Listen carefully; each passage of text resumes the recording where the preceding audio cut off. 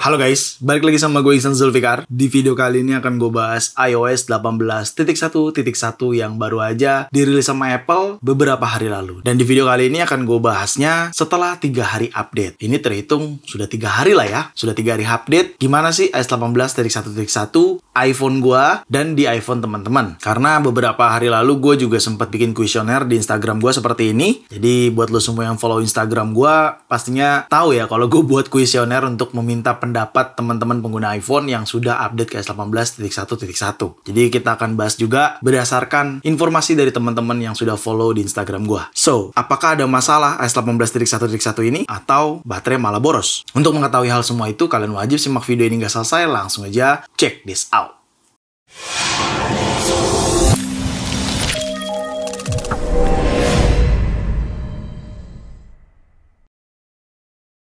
Ya, jadi beberapa hari lalu memang iOS 18.1.1 resmi dirilis ke pengguna iPhone. Dan di sini gue menggunakan 15 Pro gue yang sudah terinstall iOS 18.1.1. Kalau kita cek ke sini ke setting, general, software update, kalian bisa lihat sendiri. Di sini sudah iOS 18.1.1. Lalu bagaimana? Apakah memang ada masalah? Ya, sebenarnya iOS 18.1.1 ini lebih cenderung cuman perbaikan, bukan fitur baru atau penambahan fitur. Intinya cuman perbaikan aja. Jadi mungkin kalau teman-teman di sini yang nonton video ini belum menonton video sebelumnya, silahkan nonton video iOS 18.1.1 secara resmi dirilis. Di situ videonya lu bisa nonton di video sebelumnya. Karena di video ini lebih cenderung setelah tiga hari update yang gue rasakan dan pendapat dari teman-teman sekalipun. Oke, gue akan mulai dari performance si iPhone 15 Pro ini. Overall untuk performance baik-baik aja. Cuman ternyata bukan gue doang nih yang ngalamin ya. Gue rasa teman-teman yang menonton juga di sini ngalamin ya. Khususnya untuk iPhone 15 Pro hingga paling terbaru terkait video perekaman kamera atau atau rekam video. Jadi kalau misalkan gue buka kamera, gue pindah ke menu video, pada saat tidak mulai record, pindah-pindah lensanya sih smooth-smooth aja tuh ya, nggak patah.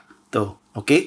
Aman. Coba gue kasih produk aja ya, biar tetap terlihat. Nah, ini aja nih, warna putih. Kelihatan ya? Tuh, di sini gue belum mulai merekam ya. Pindah-pindah lensa mah aman aja tuh. Oke, okay? dalam menu video misalkan dari 0,5 ke 3 kali, 0,5 lagi, aman ya. Tapi kalau misalkan gue rekam videonya seperti ini, ini 0,5 ya. Kita pindah ke kali 1, aman. Kali 2, aman.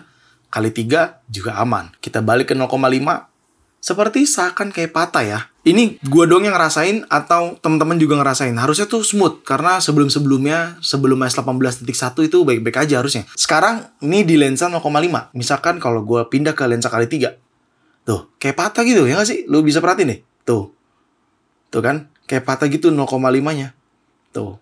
Ini gue doang yang ngerasain atau memang ini masalah di 15 Pro-nya atau memang bug. Tapi sebenarnya udah terjawab sih. Karena ada salah satu follower gue di Instagram di sini nih, dia memberikan informasi dan dia tuh menanyakan ya, itu bug atau masalah kamera. Ternyata memang bug ya. Karena gue pun ngalamin. Di dia itu 0,5 ke kali 5 tuh patah dan kalau di gue kan 15 Pro doang ya. 15 Pro tuh 0,5 ke kali 3 kayak patah gitu tuh lu bisa perhatiin deh kayak patah gitu sedangkan kalau di 16 Pro ini kan 16 Pro gue juga menggunakan beta ya belum iOS 18.1.1 coba kita cek di 16 Pro 0,5 rekam kali 5 0,5 kali 5 0,5 aman tuh Padahal ini beta loh ya. Jadi kalau misalkan gue cek ke setting nih di sini, general software update ini menggunakan s 18.2 beta version ya tuh. 18.2 ya. Sekarang kalau gue cek kamera terus gue rekam 0,5 kali 5. 0,5 lagi. Tuh, smooth kan?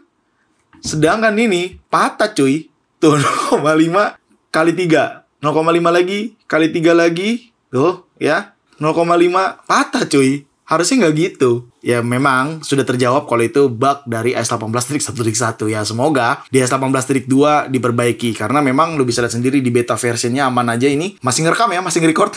di beta versionnya aja di iPhone 16 Pro gue ini, ini aman ya. 0,5 5 kali 0,5 tuh aman ya. Ke 5 kali lagi 0,5 lagi 5 kali 0,5 smooth perpindahan lensanya aman aja, tidak ada kendala sedikit pun tidak ada seperti patah. Sedangkan S18 dari 1.1 seperti ada patah segitu ya tuh. Ini kali 3 karena 15 Pro, gue pindah ke 0,5 tuh kayak patah. Balik lagi ke kali 3 Tuh, kayak patah. Jadi, ya gue rasa itu memang bug di S18.1.1 yang harusnya nanti pada saat S18.2 diperbaiki ya. Karena memang di iPhone 16 Pro, karena sudah S18.2, tidak ada kendala. Jadi, aman-aman aja. Oke? Untuk performance, cuman itu doang yang gue alamin ya. Jujur, kalau misalkan untuk hal-hal lainnya, gue belum merasakan kendala ya. Mau panas apa enggak, ini masih normal aja. Bahkan ini gue pakai secara daily untuk social media dan lain semacam ya. Ini aman-aman aja. Jadi, memang secara performance yang gue keluhkan di hal itu aja. Karena bugnya cuma di situ mungkin ya. Terutama untuk pengguna iPhone 15 Pro hingga paling terbaru. Kalau iPhone-iPhone lain gue nggak tahu ya tapi nanti kita akan kasih tahu juga sekalian informasi dari teman-teman yang sudah mengisi kuesioner. Lalu untuk baterai gimana? Untuk baterai sebenarnya masih sama aja ya. Gue ngerasa kayak S18.1 aja gitu ya. Padahal ini S18.1.1 gue merasa sih sama aja kayak sebelum-sebelumnya. Dibilang boros kagak tapi dibilang irit juga enggak gitu. Dan kalau misalkan gue cek ke daily activity gue di sini, ke setting terus ke baterai, lo bisa cek di sini tuh ya. Bahkan sempat hilang karena ini HP-nya bener-bener mati, alias lupa di charger, biasa ketiduran, terus HP-nya mati. Dan ini lo bisa lihat screen on time-nya di 12 jam, sosial media, pekerjaan secara online lah ya intinya. Aman, nggak ada keluhan sekali menurut gue untuk baterai karena gue ngerasa masih sama seperti sebelumnya dan lagi pula baterai itu kan tergantung penggunaan masing-masing. Kita nggak bisa generalisasi, wah S18.1.1 itu boros, tapi bisa jadi pengguna lain dengan device atau iPhone yang sama itu bisa aja merasakan irit gitu. Dan kalau untuk baterai health-nya di sini ya masih di 91% di mana kalkon di 429 jadi aman-aman aja lah ya buat teman-teman semua yang mengkhawatirkan baterai health-nya turun, santai aja cuy karena baterai health memang pasti akan turun selama iPhone-nya digunakan gitu. Ya untuk baterai secara pribadi tanggapan gue tidak terlalu signifikan karena menurut gue masih sama seperti sebelumnya tidak terlalu boros tapi tidak terlalu irit juga gitu. Oke, okay? dan gimana sih tanggapan dari teman-teman? Jadi beberapa hari lalu gue memang sempat bikin kuesioner seperti ini. Oke, okay? jadi intinya kuesionernya seperti ini memberikan pertanyaan atau minta tolong buat diinformasikan sama teman-teman pengguna iPhone di Instagram yang sudah follow Instagram gue. Coba tolong infoin S18.1.1 di iPhone kalian bagaimana, infoin juga iPhone apa. Seperti itu. Jadi cukup banyak yang memberikan tanggapan. Makasih banget nih untuk teman-teman yang udah ngisi kuesioner ini karena cukup banyak banget yang sudah memberikan tanggapannya. Mungkin gue nggak bisa baca satu persatu semuanya tapi tapi beberapa gue bacain karena emang lumayan. Kalau misalkan gue sebutin satu-satu kepanjangan ini video. Oke, kita mulai dari Julian MRZ. Sama aja bang, rasanya adem-adem aja device 10R dan 11 tuh. Itu dari tanggapan Julian MRZ, di mana dia memberikan tanggapan untuk device iPhone 10R dan iPhone 11 sama aja, rasanya adem-adem aja. Oke, lanjut di sini ada Kiki Kurniawati, baterainya kerasa boros banget bang. Nah, tapi dia tidak informasinya iPhone-nya apa. Lanjut di sini ada Muhammad I underscore Ray, device iPhone 11 Pro, oh iPhone 11 Pro Max. Sesudah update S18 dari 1 dari 1 aman aja nggak ada bug bang. Oke, okay, thank you. Di sini ada to the cuy. Saya di iPhone 11 merasa baterai boros terus kadang-kadang panas. Oke, okay, to the cuy memberikan tanggapan seperti itu. Sedangkan Julian MRZ sama aja bang, rasanya adem-adem aja. Nah, ada dua tanggapan yang berbeda. Padahal device atau iPhone yang digunakan sama. Apa jawabannya? Tidak bisa kita generalisasi karena setiap iPhone penggunaannya berbeda-beda, pemakaiannya beda-beda gitu ya. Mungkin Tut.cuy ini dengan iPhone 11-nya lagi hektik penggunaannya jadi ngerasa boros. Sedangkan Julian MRZ bisa jadi nggak terlalu hektik penggunaannya, makanya ngerasa adem-adem aja gitu. Lalu di sini ada Satria Saputra underscore di iPhone 15 dan SE2 baterai awet bang. Oke, thank you Satria udah ngasih informasi. Lalu di sini ada Vicky Julian 15 Pro tidak ada perubahan yang kerusakan. Oke, nice. Lanjut ada Gunawan underscore Onggo di mana dia memberikan tanggapan apakah bug saat buka aplikasi Instagram scroll scroll terdengar suara. Oh iya benar. Kalau itu gue asumsiin gue juga ngalamin tapi itu bugnya bukan di iOS. Itu pakai di aplikasi Instagramnya ya, Gunawan. Jadi buat teman-teman yang mungkin menonton di sini merasakan hal serupa seperti Gunawan katakan, di mana ketika scroll-scroll Instagram terdengar suara lagi gitu ya. Itu bug dari Instagram, bukan dari iOS-nya.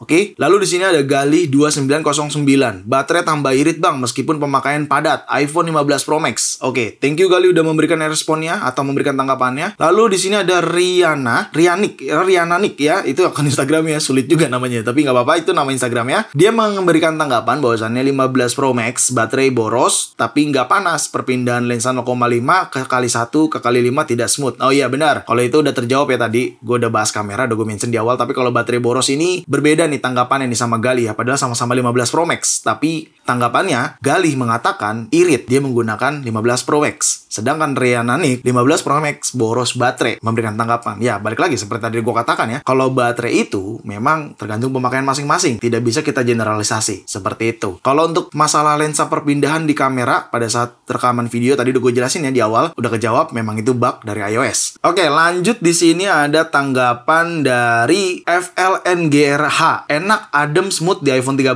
tapi nemu bug kemarin tapi di mana lupa kayaknya di aplikasi pihak ketiga. Oh, kalau aplikasi pihak ketiga ya itu dari aplikasinya ya, bukan dari iOS-nya. Oke. Terus di sini juga ada Ade Muhtar ya. iPhone 12 versi s 18.1 itu ada kendala jaringan sama WiFi. Setelah up ke iOS 18.1.1 jaringan lancar. Nah, itu dapat informasi tuh dari Ade Muhtar. Thank you ya Ade Muhtar yang udah ngasih informasi. Terus di sini juga ada Andre Vano underscore 44. iPhone 15 base model lebih adem, lebih smooth. Baterai lumayan awet daripada s 18 1. Nah, itu informasi dari Andre Vano underscore 44. Thank you banget nih yang udah memberikan respon ya. Cukup banyak banget. gue mohon maaf banget nggak bisa sebutin satu-satu karena kalau nggak video ini kepanjangan cuy. Oke? Okay? But overall intinya S18.1.1 itu ada bug di lensa kamera atau di kamera video. Tapi itu kan untuk iPhone 15 Pro hingga paling terbaru. Kalau di bawah itu harusnya nggak ngalamin ya karena perpindahan lensa smooth itu kan memang start dari iPhone 15 Pro kalau nggak salah ya. iPhone 15 Pro hingga paling terbaru. Dan itu ada bug di S18.1.1. Tapi tadi udah gue mention di awal, iPhone 16 Pro menggunakan iOS 18.2